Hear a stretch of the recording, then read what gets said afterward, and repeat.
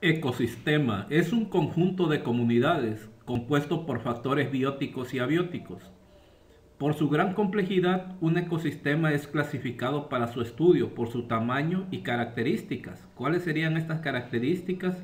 El lugar, el clima, la flora o la fauna. Los tamaños de los ecosistemas puede ser microecosistema, es del tamaño y número de organismos reducidos, como por ejemplo el tronco de un árbol. Ese puede ser un microecosistema. También tenemos los mesoecosistemas, es de tamaño intermedio, compuesto por microecosistemas. Puede ser un desierto, puede ser un bosque, por mencionar algunos. Y tenemos los macroecosistemas, comprende grandes extensiones de tierra, agua, océanos y cadenas montañosas. Entonces aquí podemos ver los tamaños de los ecosistemas desde el más chico hasta el más complejo.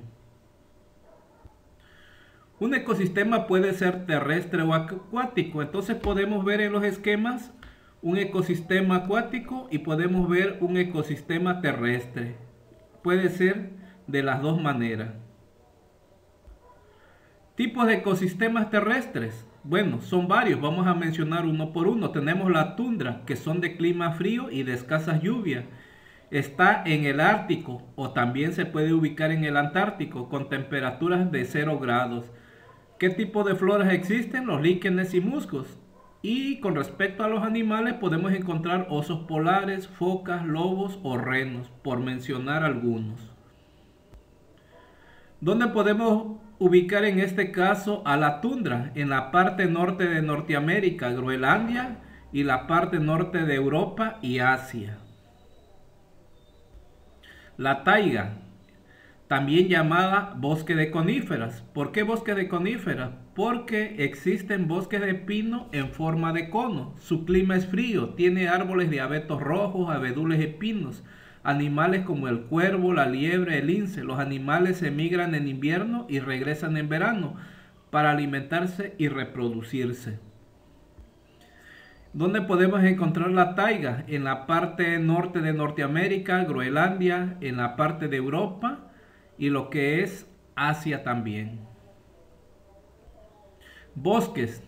El bosque tiene gran diversidad de vegetación, ocupan un tercio de la superficie terrestre, pueden ser tropicales, templados o de coníferas, cada uno tiene su propia flora y fauna.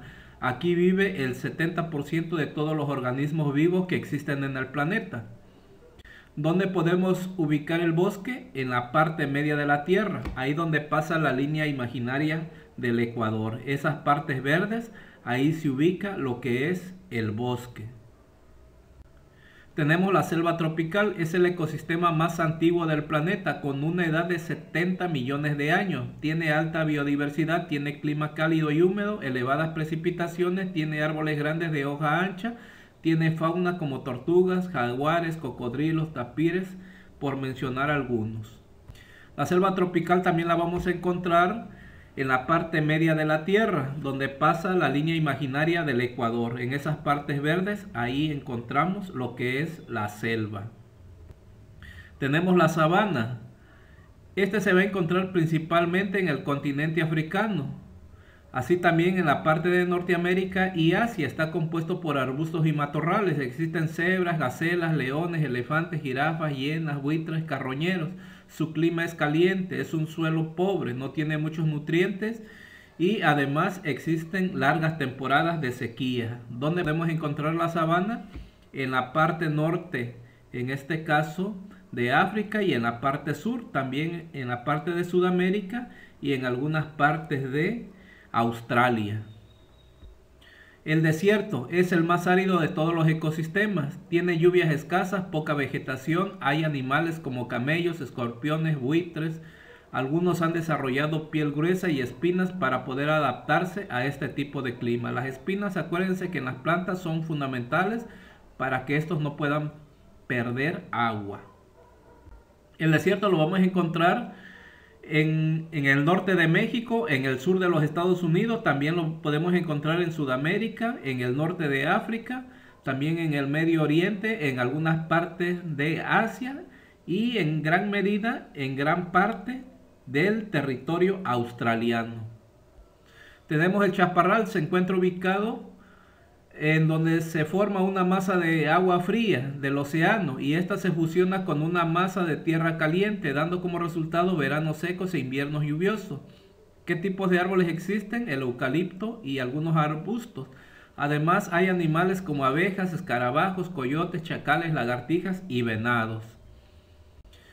¿Y dónde podemos encontrar el chaparral? En California, lo podemos encontrar en Chile, lo podemos encontrar en el Mediterráneo, en la parte sur de África y en algunas partes de Australia.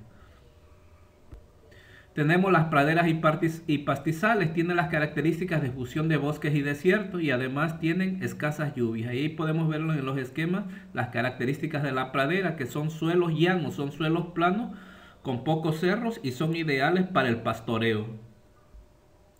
Y el chaparral lo podemos encontrar en la parte de los Estados Unidos, así también en Sudamérica y en la parte norte de Asia.